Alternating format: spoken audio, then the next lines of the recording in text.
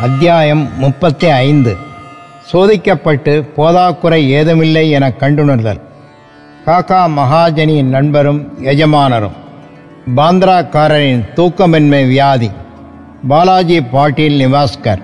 இந்த அத்தியாயமும் உதியின் முக்கியத்துவத்தை குறிக்கும் செய்திகளை தொடர்கிறது. பாபா சோதிக்கப்பட்டு போதாக்குறை ஏதுமில்லை என கண்டுணரப்பட்ட இரண்டு நிகழ்ச்சிகளையும் அது உரைக்கிறது. இந்த நிகழ்ச்சிகளை முதலில் காண்போம். முன்னுரை. ஆன்மீக விஷயங்களில் அல்லது முயற்சிகளில் சமயப்பிரிவு உணர்ச்சி நமது முன்னேற்றத்திற்கு மிக பெரும் தடையாக இருக்கிறது.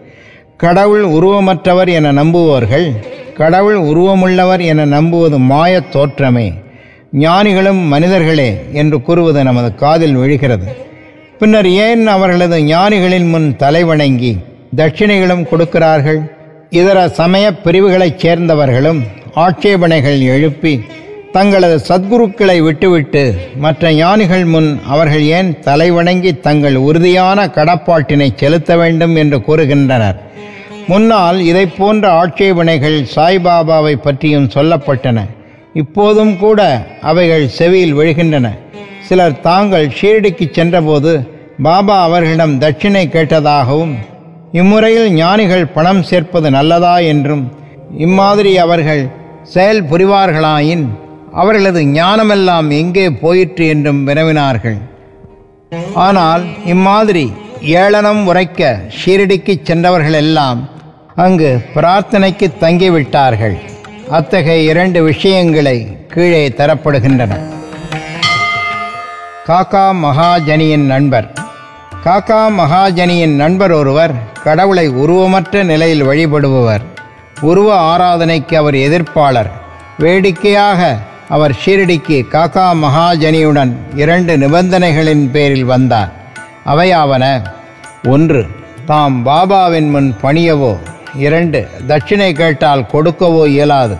காக்கா இந்த நிபந்தனைகளுக்கு ஒத்துக்கொண்டார். அவ்விருவரும் ஒரு சனிக்கிழமை இரவு பம்பாயை விட்டு புறப்பட்டு ஷீரடிக்கு அடுத்த நாள் சென்றனர். அவர்கள் மசூதி படிகளில் காலடி எடுத்து வைத்த உடனேயே பாபா அந்த நண்பரை தூரத்திலேயே பார்த்து கீழ்கண்ட இனிமையான சொற்களால் அழைத்தார். கா யாவேஜி ஏன் வந்தீர் ஐயா இந்த சொற்களை அவர் உதித்த குரல் வெகு புதிய விதமாக இருந்தது. அந்த நண்பரின் தகப்பனார் குரல் போலவே அச்சாக இருந்தது. அது மறைந்த தனது தந்தையை பற்றி அவருக்கு நினைவூட்டி சந்தோஷத்தால் புல்லரிப்பை ஏற்படுத்தியது.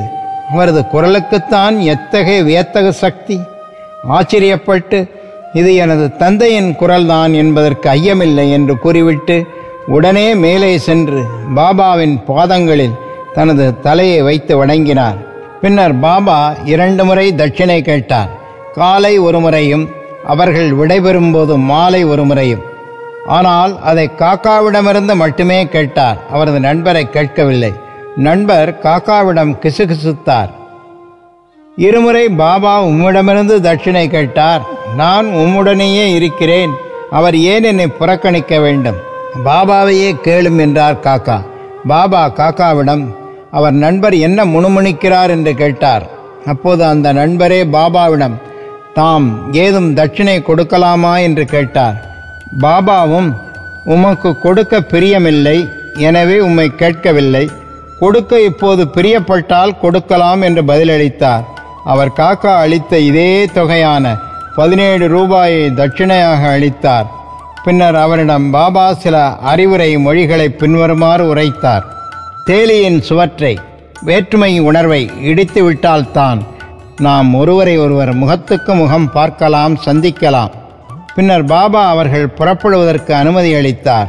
வானிலை மப்பாகவும் பயமுறுத்துவதாகவும் இருந்தபோது பாபா அவர்களுக்கு பத்திரமான பிரயாணத்துக்கு உறுதி கூறினார். இருவரும் சௌக்கியமாக பம்பாய் வந்தடைந்தனர். அவர்கள் வீட்டுக்கு சென்று வீட்டின் கதவு ஜன்னல்களை திறந்தபோது இரண்டு பட்சிகள் தரையில் விழுந்து இறந்து கிடப்பதையும் ஒன்று அப்போதுதான் ஜன்னல் வழியே பறந்து சென்றதையும் கண்டார்கள். ஜன்னலை திறந்து வைத்துவிட்டு போயிருந்தால் இரண்டு பட்சிகளுமே காப்பாற்றப்பட்டிருக்கும். ஆனால் அவைகள் தங்களது விதியை எய்தின என்றும் மூன்றாவது பட்சியை காக்கவே பாபா தம்மை அனுப்பியிருப்பதாகவும் அவர் நினைத்தார்.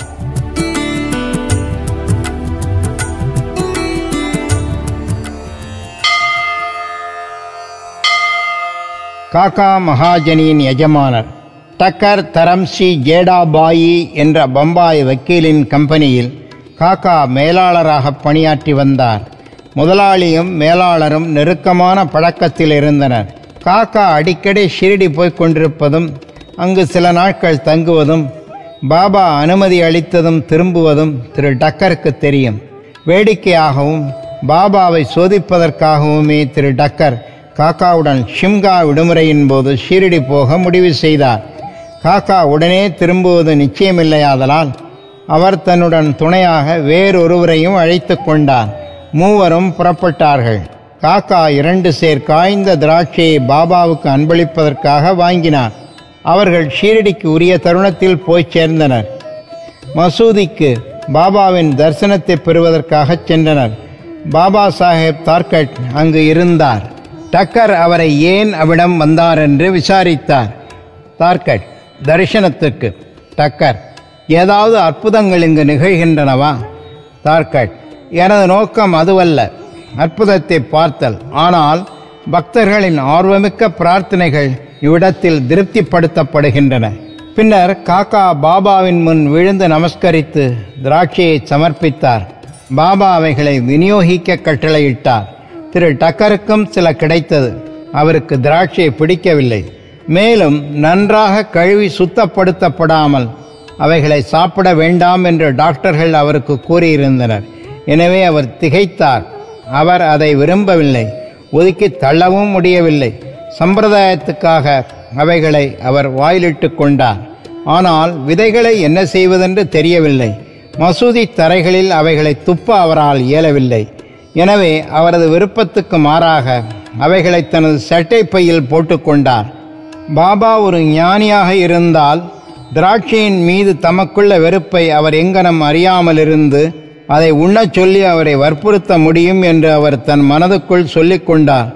இந்த எண்ணம் அவர் மனதில் எழும்பியதும் பாபா அவருக்கு மீண்டும் சில திராட்சைகளை கொடுத்தார். அதை அவரால் உண்ண இயலவில்லை.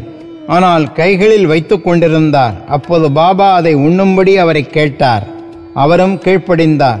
அவரது ஆச்சரியத்துக்கேற்ப அவைகளெல்லாம் விதையற்ற திராட்சைகளாக இருந்தன.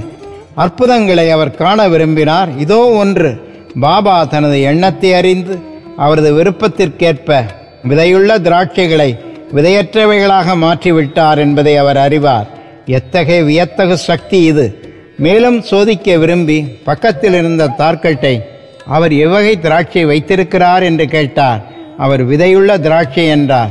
டக்கருக்கு இதை கேட்க இன்னும் அதிக வியப்பாயிற்று.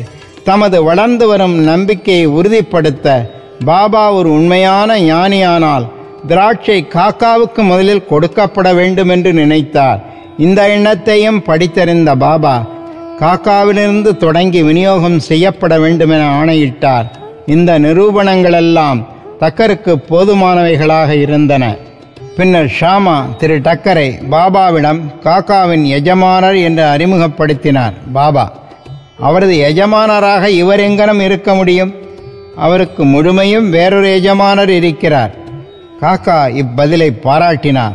தனது தீர்மானத்தை மறந்துவிட்டு டக்கர் பாபாவை வணங்கிய பின்னர் வாதாவுக்கு திரும்பினார்.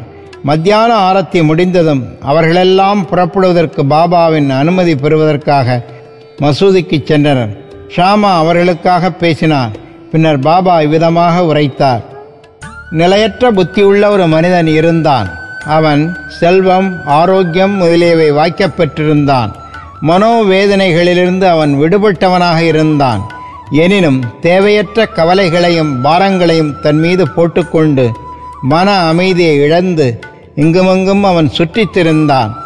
சில சமயம் பாரத்தை எல்லாம் இறக்கிவிட்டும் சில சமயம் அவற்றை மீண்டும் சுமந்தவனாகவும் இருந்தான். அவனது மனம் ஒரு உறுதிப்பாட்டையே அறிந்ததில்லை. அவனது நிலை கண்டு அவனிடம் நான் இரக்கம் கொண்டேன். அவனிடம் இப்போது நீ விரும்பும் ஏதாவது ஒரு இடத்தில் குறுக்கோளின் மீது உனது நம்பிக்கையை தயவு செய்து வைப்பாயாக. ஏன் இவ்வாறு சுற்ற வேண்டும்? அமைதியாக ஏதாவது ஒரு இடத்தை பற்றிக்கொள் என்று கூறினேன். உடனே டக்கர் அந்த பொருத்தமான வர்ணனை தமக்குரியதே என அறிந்தார். காக்காவும் தம்முடன் திரும்ப வேண்டுமென அவர் நினைத்தார். காக்கா அவ்வளவு சீக்கிரம் அனுமதிக்கப்படுவார் என்று ஒருவரும் எண்ணவில்லை. பாபா அவரின் இந்த எண்ணத்தையும் படித்தறிந்து காக்காவை அவரது எஜமானருடனேயே திரும்ப அனுமதி அளித்தார். மற்றொருவரின் மனதில் இருக்கும் எண்ணத்தை அறியும் பாபாவின் திறமைக்கு மேலும் ஒரு நிரூபணம் அவருக்கு கிடைத்துவிட்டது. பின்னர் பாபா காக்காவிடமிருந்து பதினைந்து ரூபாய் தட்சிணையாக கேட்டு பெற்றார். அவர் காக்காவிடம் பின்வருமாறு கூறினார். எவரிடமிருந்தாவது ஒரு ரூபாய் தட்சிணையாக பெற்றுக்கொண்டேன் என்றால் அவர்களுக்கு பத்து மடங்காக திருப்பித் தர வேண்டியிருக்கிறது. நான் ஒருபோதும் எதையும் விலையில்லாமல் இலவசமாக பெறுவது கிடையாது. சீர்தூக்கி பாராது நான் யாரிடமிருந்தும் தட்சிணை பெறுவதில்லை. யாரை பக்கிரி எனது குரு சுட்டி காண்பிக்கிறாரோ அவரிடமிருந்து மட்டுமே நான் கேட்கிறேன். யாரேனும் பக்கிரிக்கு முன்பே கடன்பட்டிருந்தால் அவரிடமிருந்து பணம் வசூலிக்கப்படுகிறது. எதிர்காலத்தில் கணிசமாக அறுவடை செய்வதற்கே அவர்கள் இப்போது கொடுப்பதன் மூலம் விதைக்கிறார்கள். தர்மத்தை செயல்படுத்துவதில் செல்வம் ஒரு வழியாக இருக்க வேண்டும். இது சுய இன்பத்திற்காக பயன்படுத்தப்பட்டால் அது வீணாக்கப்படுகிறது. நீ அதை ஏற்கனவே கொடுத்திருந்தால் ஒழிய தற்போது அதை பெற முடியாது. எனவே பெறுவதற்கு மிகச்சிறந்த வழி கொடுத்தலேயாகும். தட்சிணை கொடுத்தல் வைராக்கியத்தை பற்றின்மையை வளர்க்கிறது. அதன் மூலம் பக்தி ஞானம் இவற்றை விருத்தி செய்கிறது. ஒன்றை கொடுத்து பத்தாக திரும்பிப் பெறுங்கள். இம்மொழிகளைக் கேட்டு தமது தீர்மானத்தை மறந்தவராய் டக்கர் தாமாகவே ரூபாய் பதினைந்தை பாபாவின் கைகளில் கொடுத்தார். அவரது எல்லா ஐயங்களும் தீர்க்கப்பட்டு பலவற்றை கற்றுக்கொண்டார். ஆதலால் ஷீரடிக்கு தாம் வந்தது நன்மையானது என்று அவர் எண்ணினார். இத்தகைய விஷயங்களை கையாளுவதில் பாபாவின் திறமை தனித்தன்மை வாய்ந்தது. இவைகள் யாவற்றையும் அவர் செய்தபோதும் மொத்தத்தில் இவைகளின் மேல் சாராதவராகவே இருந்தார். யாராவது அவரை வணங்குவதோ அல்லது வணங்காமல் இருப்பதோ அவருக்கு தட்சிணை கொடுப்பதோ கொடுக்காமல் இருப்பதோ இவைகளெல்லாம் அவருக்கு ஒன்றே. அவர் ஒருவரையும் அவமதிக்கவில்லை. தாம் வணங்கப்படுவதால் அவர் மகிழ்ச்சி அடைந்ததில்லை அன்றி தாம் மதிக்கப்படாததால் அவர் துன்புற்றதுமில்லை. மாறுபட்ட இருமைகளை சுகம் துக்கம் போன்றவைகளை அவர் கடந்து நின்றார்.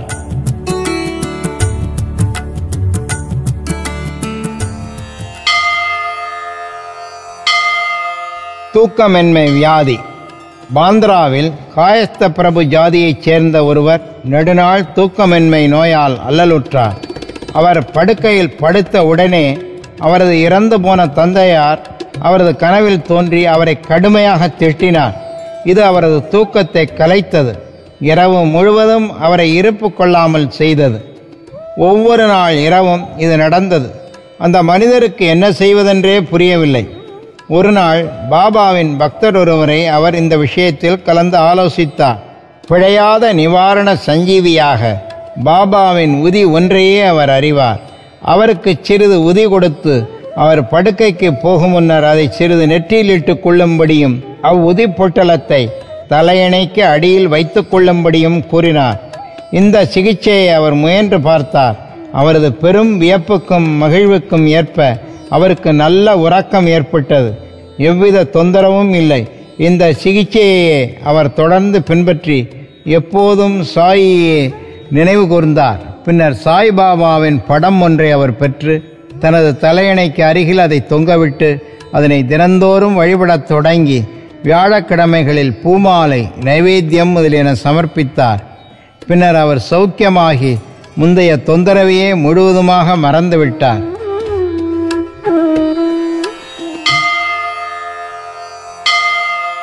பாலாஜி பாட்டீல் நெவாஸ்கர். இந்த மனிதர் பாபாவின் ஒரு பெரும் பக்தர். மிக மிக சிறப்பான பற்றற்ற பணியை பாபாவுக்கு அவர் செய்தார். ஒவ்வொரு நாளும் ஷீரடியில் பாபா தமது தினசரி நியமமாக நடந்து வரும் தெருக்கள் பாதைகள் எல்லாவற்றையும் அவர் பெருக்கி சுத்தமாக்கினார். அவருக்கு பின்னர் இந்த பணியானது ராதாகிருஷ்ண மாயி என்ற பக்த மாதுவாலும் அதற்கு பின்னர் அப்துல்லாலும் அதே அளவு சிறப்புடன் செய்யப்பட்டது. ஒவ்வொரு ஆண்டும் பாலாஜி கோதுமை அறுவடை செய்தபோது அவ்வளவையும் அவர் பாபாவுக்கு கொண்டு வந்து சமர்ப்பித்து விடுவார். மீதமாக பாபா எதை கொடுத்தாரோ அதை பெற்றுக்கொண்டு தனது குடும்ப சம்ரட்சணத்தை அதை கொண்டு செய்தார். இந்த நடைமுறையானது அவரால் பல ஆண்டுகள் செய்யப்பட்டு அவருக்கு பின் அவரது மகனாலும் செய்யப்பட்டது.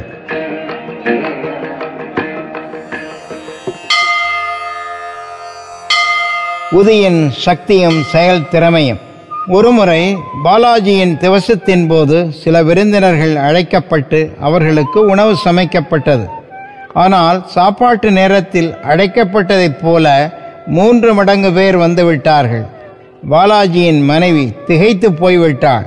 குழுமியிருந்த மக்களுக்கு உணவு பற்றாது என்றும் அது பற்றாது போகுமானால் குடும்பத்தின் கௌரவம் பாதிக்கப்படும் என்றும் அவள் நினைத்தாள்.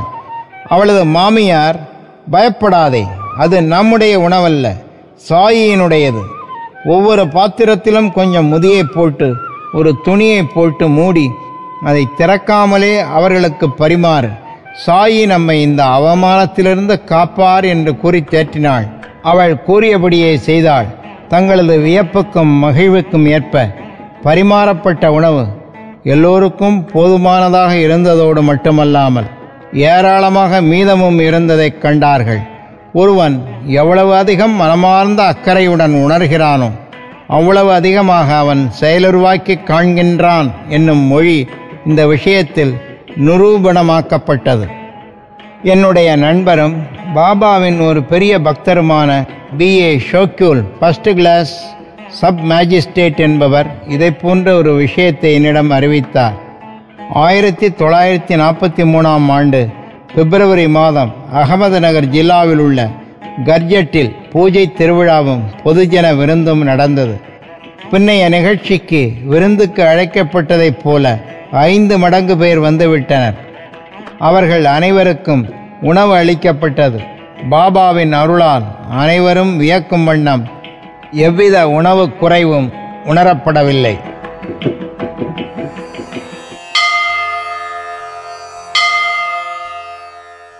சாய்பாபா நாகமாக தோன்றுதல். ஒருமுறை ஷிரடியைச் சேர்ந்த ரகு பாட்டீல் என்பவர் நவாஸைச் சேர்ந்த பாலாஜி பாட்டீல் என்பாரிடம் சென்றார். அன்று மாலை மாட்டுத் தொழுவத்தில் ஒரு பாம்பு சீறிக்கொண்டு உள்நுழைவதைக் கண்டார். எல்லா மாடுகளும் வீதியடைந்து நகரத் தொடங்கின.